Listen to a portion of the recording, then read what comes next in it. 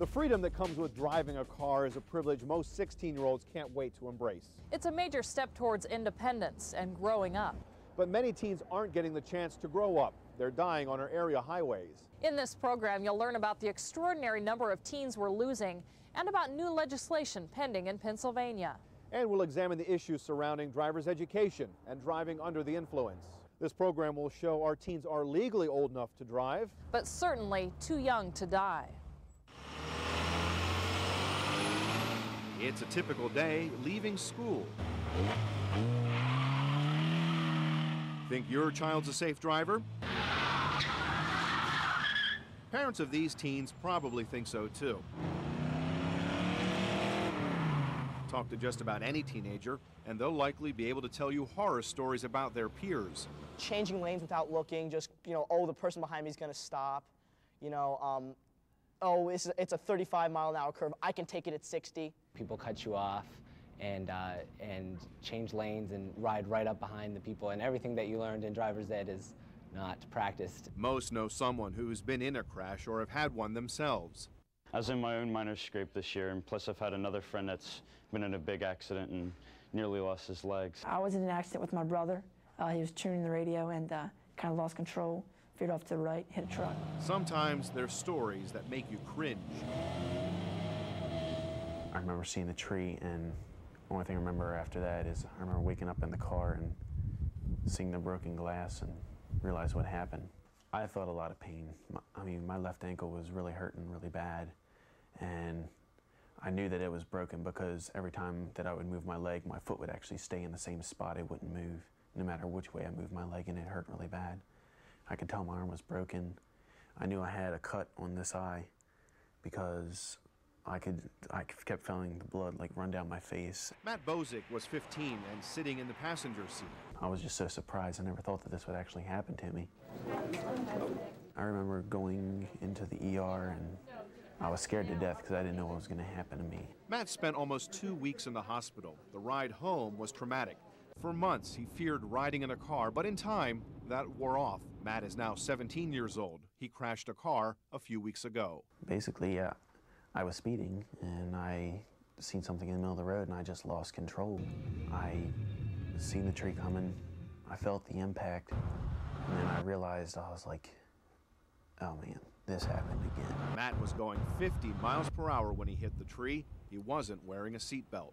I knew it was broken in half because my whole leg was just folded in half, literally. The car began to burn. Matt crawled out of a window. And I got about I'd say it was six feet in the middle of the road, about 10 or 15 feet away from the car, and the car just went. Matt will recover again, but life is anything but fun right now. It's been really hard because, I mean, there's a lot of stuff going on having to deal with the insurance companies, and I mean, having to worry about like what other people are saying, like just people talking about how like parents calling me up saying, you should drive slower. Still, Matt is one of the lucky ones. Many teens never live to tell their stories. Instead, their friends live with the aftermath. She just screamed out, they're dead. And I threw the phone across the room, and I, I went hysterical. I was holding on to my pictures going, no, it's not happening, it's not happening. But it was happening. Karen Dellinger's best friends and the boy she loved died in a crash. The accident occurred as it was traveling northbound on Locust Point Road at a high rate of speed went over a hill on the roadway, became airborne, uh, lost control, went off the roadway, and started to flip and roll. Throwing the boys from the car, three of them died 16 year old Blake Evans, 15 year old Wade Teal, and 15 year old Daxter Schaefer. None were wearing seatbelts. They had doubled the 40 mile per hour speed limit. I don't think that they were doing anything but having a good time. I don't think that any of them said, put your seatbelt on or slow down. The teens were sophomores at Cumberland Valley High School. Memories washed through the minds of their shocked and saddened friends. He loved to be the center of attention, and he loved to, to make crazy faces, and him and Blake were, were best friends. Wade was on the soccer team. He was uh, starting goalie. He was National Honor Society, you know, good students. They were all good students. There was no alcohol involved at all. Everybody was coming uh, from an activity uh, at a private residence, and they were all just going home. And uh, it was just a mistake that ended in tragedy. A tragedy that became painfully real at their funerals. When I went up there, I just I stood there and just looked at him, you know, and I held his hand and I gave him a kiss on his forehead and I just stood there and I just I did not believe it. You didn't want to believe it, Mm-hmm. and then going there and, in my case, seeing my best friend laying, laying there still without a smile on his face, you know, and that to me is the scariest thing. This kind of stuff doesn't happen to kids, you know, we're only 15 and 16. The girls cling to memories, Wade's silver chain, and a few pictures. Returning to school was painful. You're coming to school and you're you're looking for them, and you're you're looking at the old places you used to meet, and you're you're waiting for them. It's like your stomach is just hollow. It's just like everything drains out of you and you feel like you can't think, you can't move, you can't talk, you just you just sit there. Only after months and months of counseling have the girls started to live again. They've grown and aged, and they've changed. I never used to wear a seatbelt. Ever. When I got in the car, oh, you know, I'm fine. Just sit back, relax, turn on the music. Uh, now I can't start a car without putting a seatbelt on. Just don't take anything for granted. You know, what you have today it may not be there tomorrow. It's not guaranteed. You gotta just make your hugs a little bit longer and tighter, and you know, you choose your words because you never know when something's gonna happen. Nothing nothing hits you harder until it happens to someone that you love. You know, and and they were loved by everyone. The heartache resulting from teenage crashes is obvious, so how do we curb them? Some say we should start where teens are learning to drive. Often that's at school, in driver's education. and we're going to make a right on the highway. This is a critical spot right here. Obviously, if you live in Dillsburg or anywhere around, you're going to come out here. You got to deal with it, and uh, it's not an easy spot to handle. David Perry's been teaching driver's education at Northern High School for about 20 years. He's one of two full-time teachers. Give you a little warning that you won't, you don't want to be any closer at this point. You know, as your speed increases, your following distance also must. 16-year-old Erica Myers is learning to drive. There are trucks all around her on Route 15. Highway driving is the most nerve-wracking part of her behind-the-wheel class. Oh, she's having no problem with that. Um, and there are a big variety of speeds. I think uh, the concept of speed itself, um, and, and especially making turns and going through curves, they tend to have a real, real tough time with that. That's one reason the driver ed car has an extra brake for the teacher, but it's a tool Perry doesn't like to use. Even if I see that they're going to be making a mistake, I like to, for the most part, make their mistakes on their own and not have me always, you know, beforehand helping them out with that. It's nice to have. It's, uh, I think it's a reason why I have most of my hair and most of it's not, not too gray. Erica's also driving with her parents. It varies. Some of the kids uh, get a lot at home, like Erica, and some of them, you know, the, parents say, hey, that's their job to, you know, our job to, to teach them. David Gerberich learned his skills from his parents. No formal driver training is required to get a driver's license. He's one of a handful that takes the class after obtaining his license. It still certainly benefits him to take it, and I know he's getting, you know, to see some things, uh, both some good things and bad things that, that you know he can do to uh, to incorporate into his own driving and make himself a better driver. The Pennsylvania Department of Education requires six hours of driving and 30 hours of classroom instruction for an approved school curriculum. Is that really enough time behind the wheel? I think teens have are involved in more accidents uh, just because of the experience factor, the lack of experience. In fact, an accident involving the driver's ed car is the main lesson in today's classroom session. The speed limit out here on Old York Road is what? 55, that's right. Perry and the students were waiting to turn left when a car approached from behind. I tell you, I still see it in my in my dreams.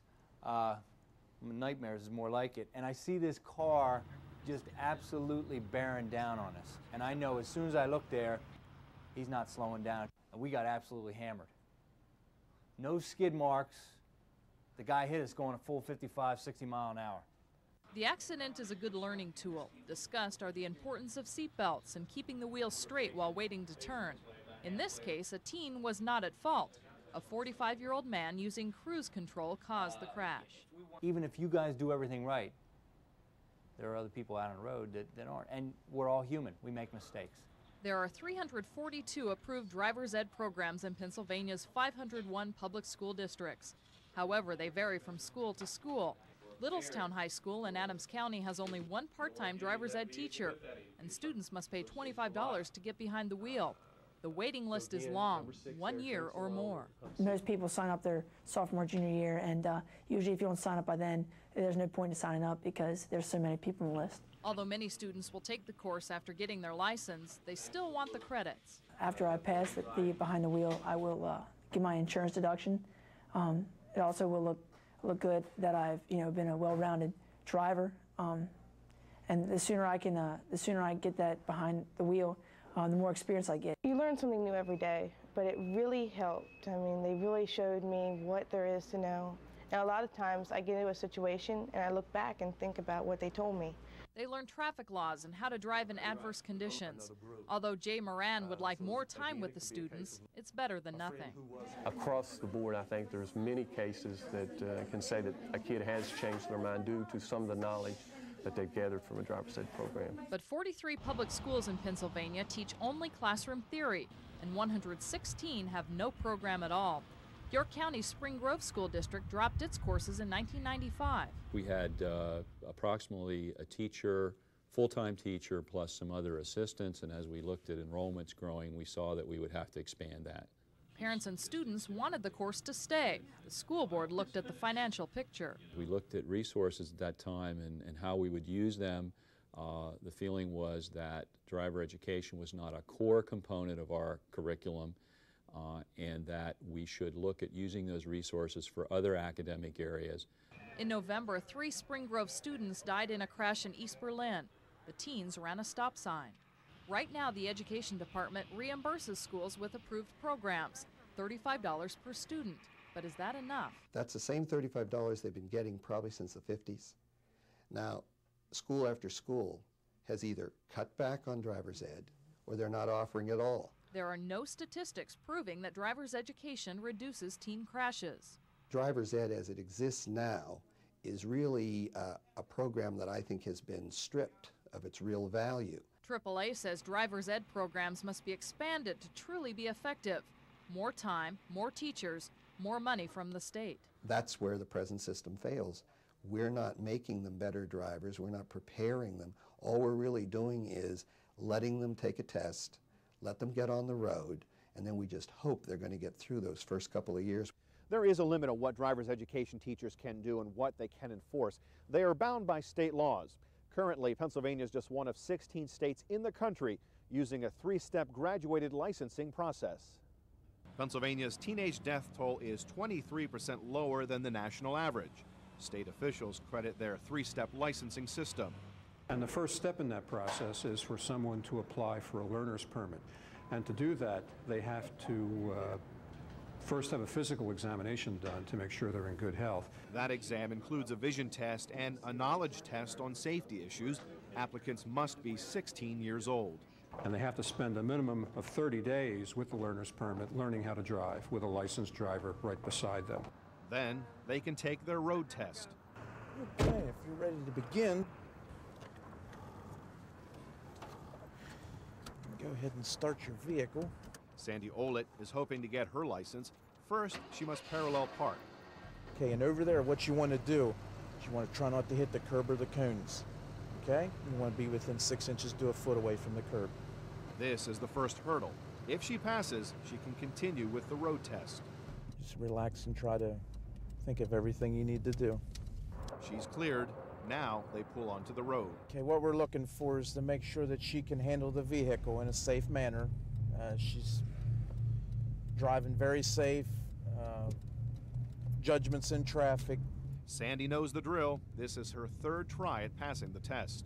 What happened the last time she was in, uh, she wasn't making her full stops at the uh, traffic lights. She was turning right on red and she wasn't coming to a full stop and looking for traffic. What she done is uh, there was a car coming and she pulled out in front of the car. Her second try at the test wasn't much better. The second time, I misjudged a light and ran it when it was red. But today, everything is correct. Congratulations, you passed your test. You've done a very good job. You parallel parked perfect. That was a real good job. Was it just luck, or have her skills really improved? It's hard to know. Sandy learned and practiced at home. Well, we started out in parking lots, and we happened to live in a trailer park, so I went into the trailer park next. Then I went into back roads and then onto the city. Just maybe about an hour each time. PennDOT passes about 80% of new drivers the first time. Examiners assign points for each mistake. 31 points is a failure. Anything 31 or over, you fail for. Uh, anything under 30 is you do pass.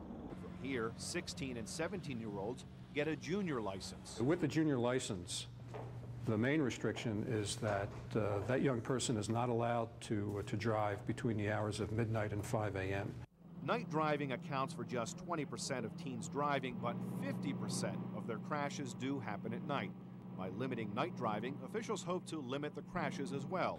If a 16 year old has a clean driving record for the first year, a regular adult license is granted by the age of 17.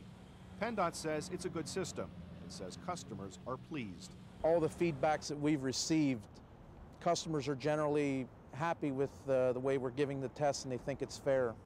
If Pennsylvania is already a national leader in preparing young drivers, is there anything more our legislators can do to make sure our teens are safe on the highways?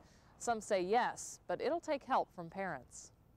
Statistically, nationwide, there are approximately 6,300 teenagers killed every year in this country. Uh, that averages out to about 17 a day. Car crashes are the leading cause of death for teenagers.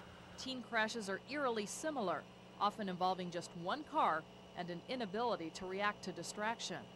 But no skills test is going to pinpoint whether a young driver will consistently speed, take wild chances, or just act childishly.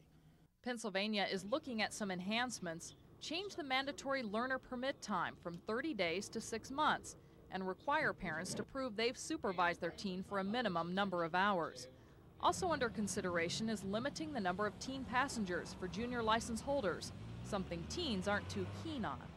One teenage passenger for a junior licensed person uh, depends on the maturity of the driver.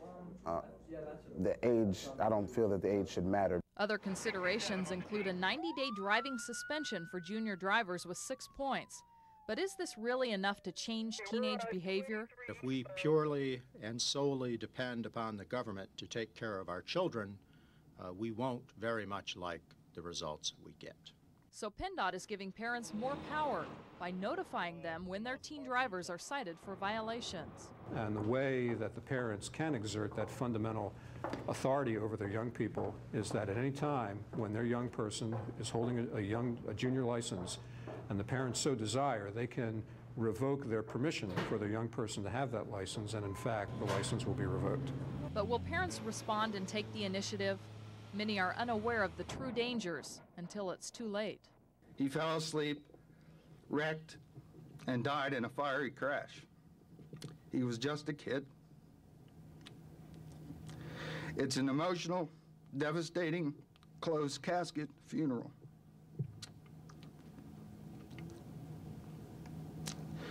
We could have understood better if he had died for his country, but he just died trying to see his mother.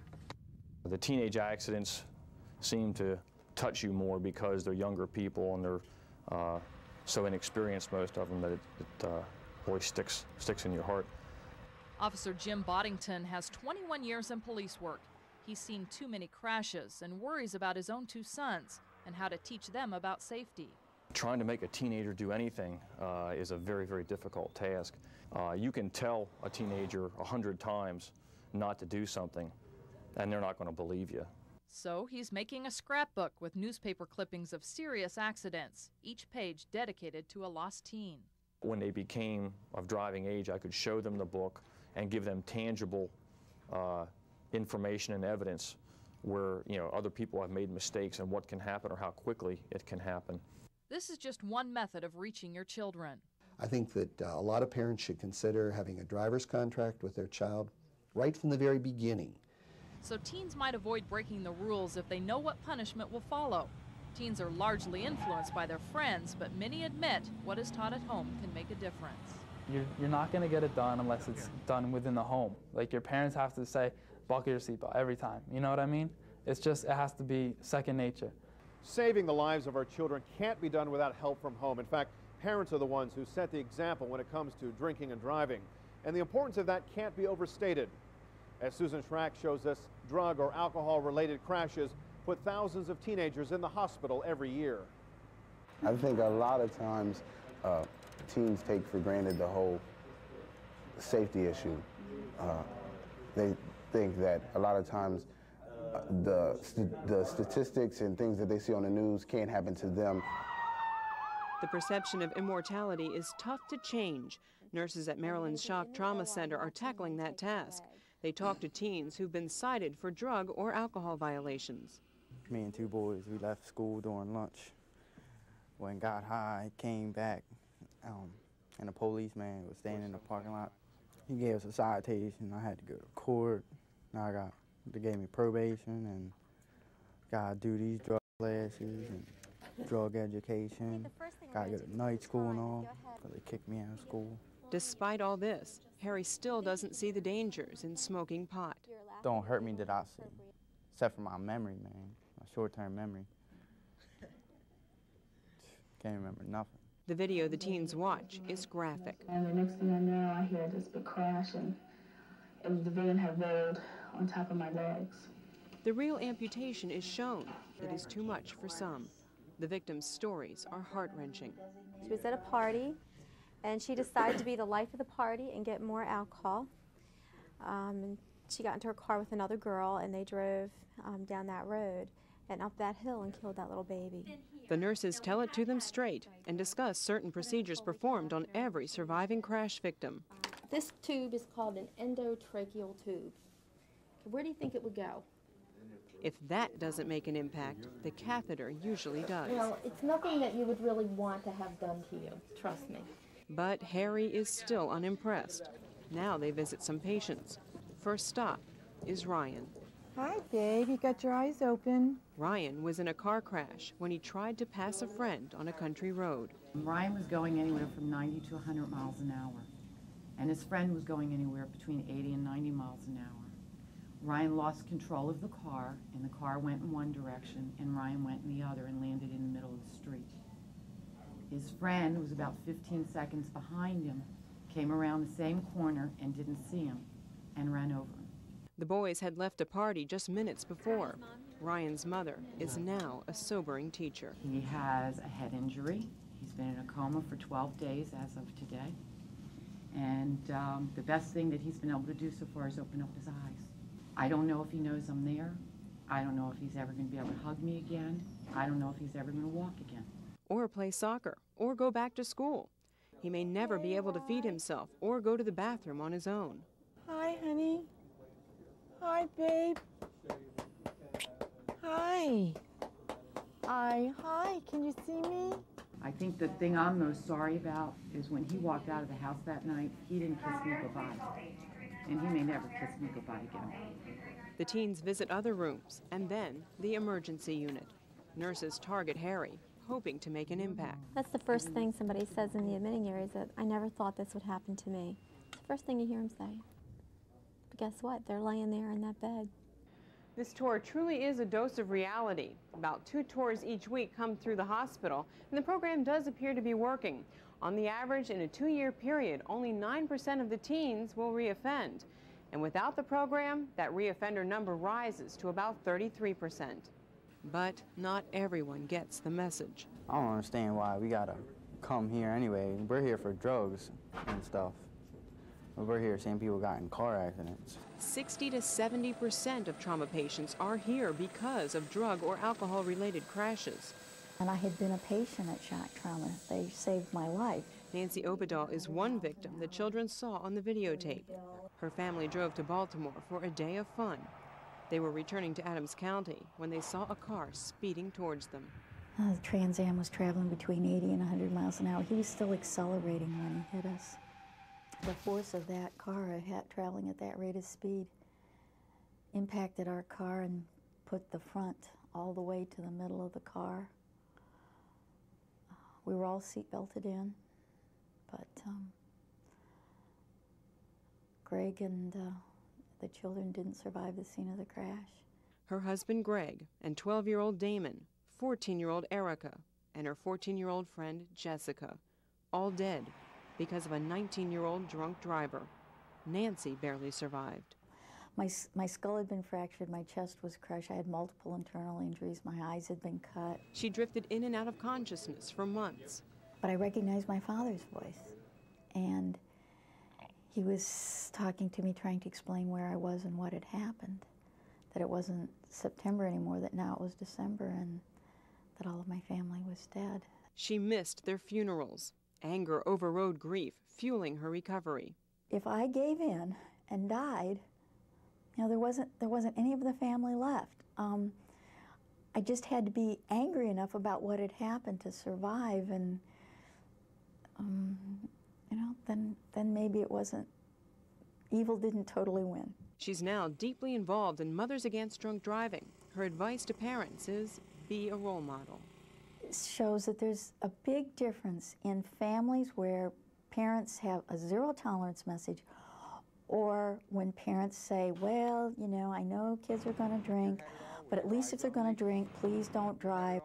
In those situations, then they're the ones that are more likely to drink or more likely to drink after driving or more likely to get in a car with another person who's been drinking. The hope in her crusade is that other parents won't have to live what she is living. Now, when I've, I've done my my Christmas shopping, uh, part of it every year is ordering grave blankets. It isn't what a parent ever thinks about when they're having a family, that that's going to be their Christmas shopping list, but it's what mine is. We hope this program has been informative and helpful in addressing teenage driving issues. Where do you go from here? You've heard the advice from teens and from adults. Plus, there are handbooks for parents, courtesy of PennDOT. It is simple. Wear your seatbelt, drive the speed limit, and stay sober to help prevent so many crashes. This program is dedicated to the teens who have died in our area on our roads. These names are from just the past three years alone. Children who were old enough to drive, but way too young to die.